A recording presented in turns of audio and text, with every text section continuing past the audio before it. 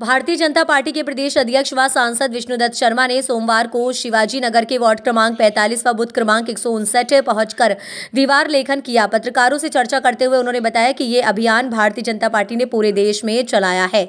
मध्य प्रदेश के अंदर चौसठ बुथों के अंदर दीवार लेखन किया जाएगा। एक बार फिर से मोदी सरकार के स्लोगन के साथ भारतीय जनता पार्टी कमल का फूल बनाकर के मोदी सरकार के स्लोगन के साथ ये अभियान लगातार चलता रहेगा। प्रधानमंत्री के नेतृत्व में लोकसभा के चुनाव चुनाव में हम एक बार फिर मोदी सरकार के नारों के साथ मैदान में उतर चुके हैं। इस बार 2024 में भारतीय जनता पार्टी चुनाव जीतकर इतिहास रचने जा रही है।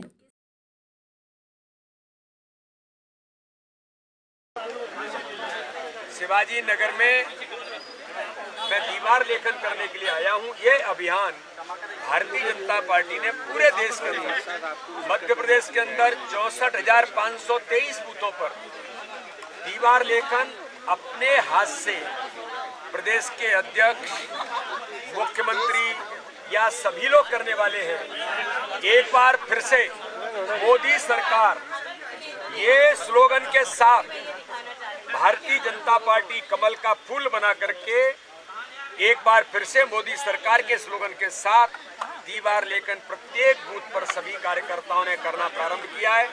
ये अभियान लगातार चलेगा। और भारतीय जनता पार्टी जो दुनिया का सबसे बड़ा राजनीतिक दल है, लेकिन कैडर बेस्ड ऑर्गेनाइजेशन है। माननीय प्रधानमंत्री जी के नेतृत्व में पूरे भारत के अंदर, माननीय नरेंद्र मोदी जी के नेतृत्व में 2024 के लोकसभा के चुनाव में हम फिर एक बार मोदी सरकार के नारे के साथ मैदान में उतरे और प्रत्येक बूथ पर हम चुनाव लड़ने की तैयारी भारतीय जनता पार्टी के कार्यकर्ताओं ने की है। हर बूथ पर दीवार लेखन के साथ प्रचार प्रसार भी कर रहे हैं और गरीब कल्याण की योजनाओं के साथ जो प्रधानमंत्री नरेंद्र मोदी जी के नेतृत्व में हर गरीब का जीवन बदला है, इस आधार पर आगे बढ़े हैं। इस बार चुनाव में 2024 में इतिहास बनेगा।